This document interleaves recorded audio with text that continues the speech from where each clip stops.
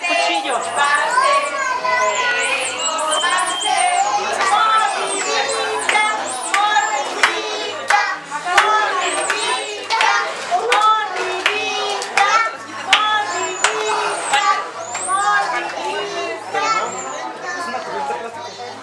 Es la cubierta de plástico. ¿eh?